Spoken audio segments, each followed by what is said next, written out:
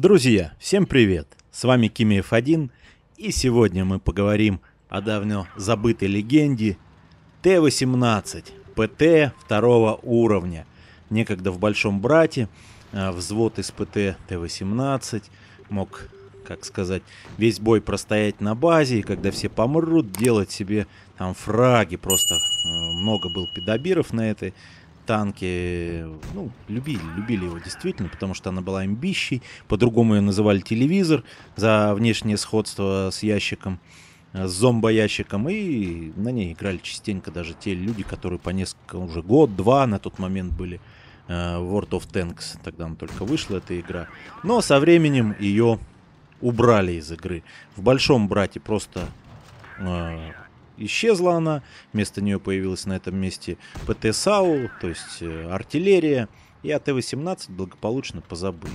Здесь же что произошло? Здесь просто-напросто ее тоже вывели из игры, ну та, у кого она была еще в ангаре, осталась. Ну, естественно, ее понерфили. Забрали короткоствольное орудие, фугасно фугасное, которым в основном все играли. Оставили скорострелочку, у которого приличное пробитие, но небольшой урон – а, то самое орудие, которое все любили, забрали. И вот мы на рудниках на ней сейчас, ребят, катаемся, конечно, крушим всех подряд. Про, э, из плюсов, как всегда, у ней большая броня, хорошая скорострельность, приемлемый, как говорится, пробой и маленький урончик. Ну как, среди одноклассников он тоже вполне достоин, так же, как и у других.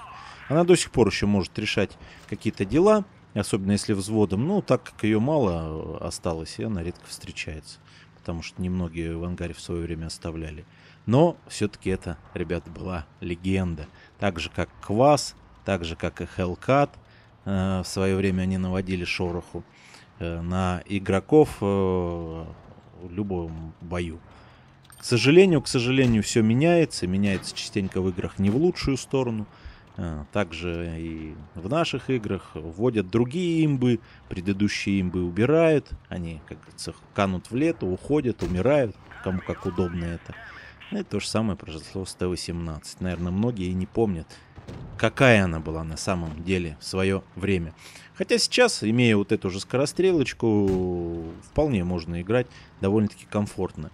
Единственный какой момент, немножко ей не хватает э, поворачиваемости. Если они ее понерфили, понерфили пушку, можно было бы оставить э, хотя бы какую-то более-менее поворачиваемость, потому что если к вам приедет легенький танк, он вас может легко закружить. В лоб вы не пробиваетесь многими, ну а сбоку, естественно, и сзади это американские танки, вы сами знаете, шьются очень легко. Но если постоянно подставлять все-таки лоб, то, видите, многие не проверяют, не пробивают. Он выстрелил, сразу же поворачивайся к другому. И вот так вот постоянно, если вертеться, ребят, то можно э, сэкономить очень большое количество хп.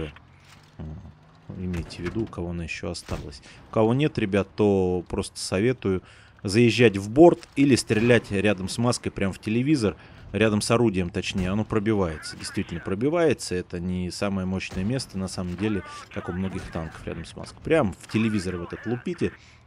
Я думаю, вы ее пробьете. Нет, так э, вы с, быстрый танк заезжайте в бок, вот как это попытался сделать. Ну, куда-то уехал дальше, и вы ее будете карать, как говорится. Если взвод увидели, то лучше бегите, вытягивайте на ПТ, на ПТ, и ПТшки все равно разнесут любую Т-18. А так, конечно, она до сих пор еще может ролять. Ну, вот бой заканчивается, мы тут неплохо постреляли, фрагов наделали. Первая степень, до этого не дотянулись. До мастера урона 700 нанесли, заработали 6000. В принципе, неплохо, ребят, неплохо. Сейчас перейдем в ангар, посмотрим ее нынешние характеристики более подробно потому что к тем характеристикам мы уже никогда не вернемся. Да, 4 фрага сделали вместе с БТ-2 и с Т-26, в принципе, даже при трех нулях смогли выиграть этот бой. Нам повезло. Пойдемте, ребят, в ангар и посмотрим нынешнее состояние этой Т-18. Видите, она выделена голубым цветом, синим, кому как удобно. А, то есть этот танк сейчас является подарочным но никак не игровым, уже не прокачиваем, его ниоткуда не взять. Ну, на самом деле это ВГ, а ВГ можно ожидать чего угодно. А, вы помните танки по ивенту и по всему прочему. Они потом появляются в продаже. Вот смотрите, что у нас тренируется на ПТСАУ. Обзор, конечно, улучшение. Вот пушечка вот такая. Урон в 40, да, бронепробиваемость 64, ребят. Э, в принципе, так, комфортно, комфортное пробитие. Это без голды мы с вами смотрим. Ну и урон, конечно, средненький э, получается. Ну, по 40 намного на этом уровне, тем более это второй.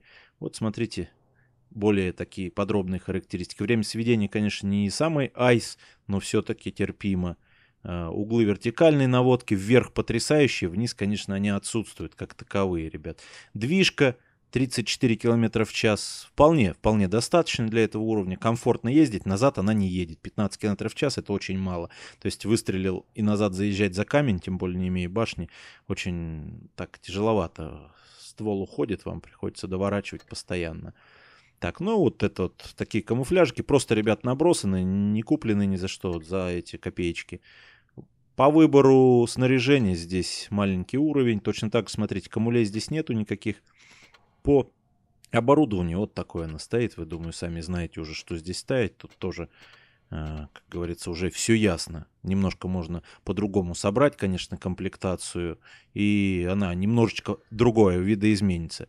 Вот по внешнему виду все то же самое осталось, ребят. Вот такая вот она была. Единственное, что все-таки короткостволочка фугасная была интереснее. Можно было зарядить э, издалека так, что сразу ваншотили. Да, да, да, может, взводом было и по 15 танков забирать. Смотрите, сколько еще здесь танков, вот этих вот, которые остались и вывели. По ним тоже со временем сделаем обзорчики, потому что, наверное, может быть, кому-то интересно. Пишите про эти танки, про какому танку из этих вы бы хотели увидеть обзор, потому что они в ангаре пылятся, но все-таки они остались.